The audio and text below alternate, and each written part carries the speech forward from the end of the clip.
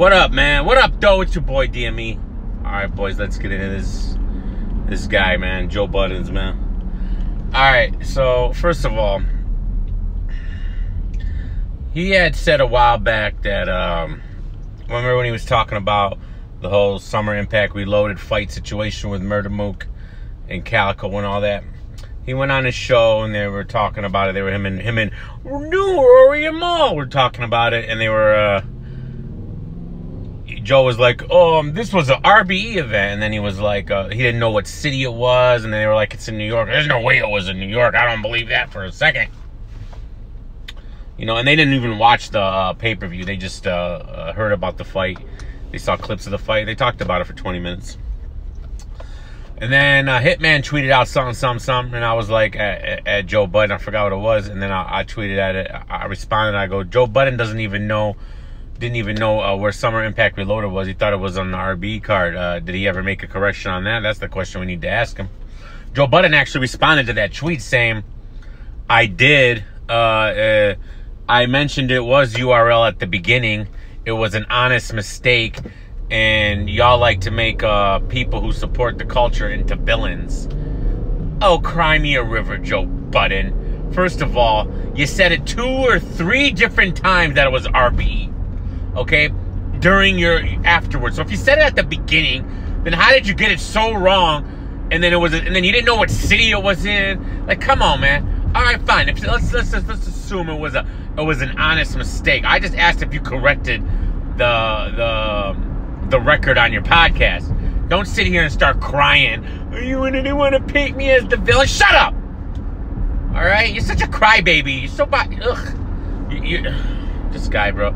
All right, and, and and then you talking about oh I support the culture. Like like please, pro, uh, please. Why? Why? Because you bought a couple of pay per views. Like uh, oh, like what are you talking about? All right. Then he wants to go on his podcast and he said what he said about clips. I don't even care about that. Right? He doesn't think clips is the greatest whatever. I, I, mean, I think Clips was on that trajectory, but then, you know, he slipped up, so he's not. You know, whatever. That's an opinion. But then he had the nerve to get on there and then accuse K Shine of having a ghostwriter, bro. Accuse K Shine of having a ghostwriter with zero proof. Well, this is what people have. I've heard people say this. You, you, you. Bro, like this guy, bro, he's he's he's he's something else, man.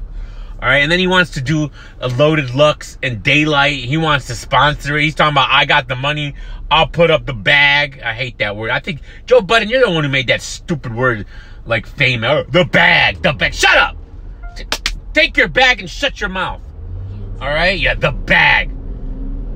You don't get money in a bag. All right, what are we doing here? All right, I'd rather get a check. Stupid. The bag. Anyways, it's just it's just because it came from him. It's annoying. Otherwise, it probably would have been cool. But uh,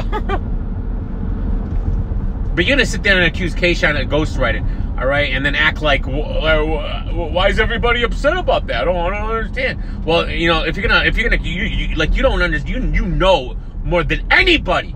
All right, that's an accusation that has to have 100% facts behind it and proof. All right, you can't just spit that out there and put that on somebody that you don't know, especially with a guy with this stupid little platform. All right, which you're talking to all these people, and now you got everybody thinking now K-Shine's got a ghostwriter with no proof, no nothing. You just run your mouth, talking about, I love the culture. Yeah, yeah, I, I, I can't tell. I can't tell. And we don't need you to love the culture and this and that. Just stop lying and get your facts straight. And actually, if you love the culture, I think you would have been watching Summer Impact Reloaded and not just heard about it and then called it an RBE event three separate times. And then get all offended when people corrected you. I'm just trying to help out. I've done all this stuff. I'm, you know, I did the hollow battle just to make the. Oh, shut up. All right, you act like we didn't hear the interviews leading up into that hollow battle. We know exactly why you did the hollow battle. All right, your story changes every other day for everything. All right, you, you literally are bipolar. You are the most bipolar person I've ever met. Salute to you, because you know maybe I'm I'm a little bit bipolar, so maybe we I have a little connection there with you. All right, but you be changing your story every single time. You change your story about why you dropped that mic on that stage Three different times I heard you say a different story for. It. All right, so you know, I don't want you to throw no damn loaded Lux Daylyt battle on a Joe Budden league, and he said in a quiet room with nobody there. You know how dumb that would be? Like, do you, do you guys do you understand anything? Like, that quiet room, even the smack volumes and the band, these are all whatever, man. They're not they don't make for good battles. Like, show me like yeah, there's a couple there's there's some you know, maybe some anomalies here and there, but come on, man. You know, even Geechi and Rum Nitty, that was all in that was in that smack volume setting. It was so quiet, nobody was reacting to anything. And you guys just, oh, you guys want to be about the purest of hip. Shut your mouth, bro. This is battle rap, man. Y'all are trying to make this into some cipher stuff, man. We're gonna this is a this is a cipher now, and we're gonna see who the greatest rapper is. With, with all the lyrical miracle nonsense spitting your stupid words that nobody cares about.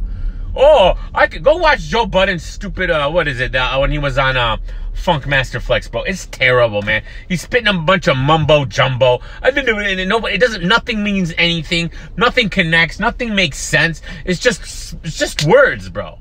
They're just words spit together. I've never been a fan of that. I don't care about that. All right. I like stories. I like. I like you to actually say something in, in your rhymes, like not just you know spit a bunch of nonsense, bro. Like you're playing gymnastics. You're playing word gymnastics. All right. Take your word gymnastics somewhere else. That's why. That's why Pac's the goat, bro. That's why Pac's the goat. All right. And that's why. that's why I hate you people out there. Uh, lyrical. And last thing, he's like, all these battle rappers, or they be doing these response blogs. Your and, and that's trash. Your whole podcast is a response blog to everything. Joe, your whole podcast. That's what it is. It's a response to the industry and what's going on. So when someone else does it, oh, you guys, you guys getting all in your feelings. Like, whatever, man. You know, Joe Budden, you, you never cease to amaze me. Please don't get into battle rap game, bro. We don't need it. All right?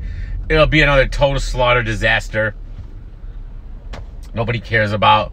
All right, you, just your thoughts already with you putting. Let's put Daylyt and Loaded Lux in a room with nobody in it, and we'll shoot it.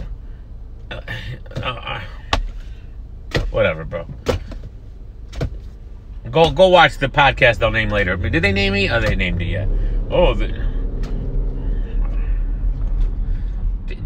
but uh, listen, man, I don't know what else to say, bro. I, am I'm, I'm at a loss for words. I can't driving to work, bro, and it's just like you got Born Legacy 8. We'll be live tonight, by the way. The Born Legacy 8 uh, after party.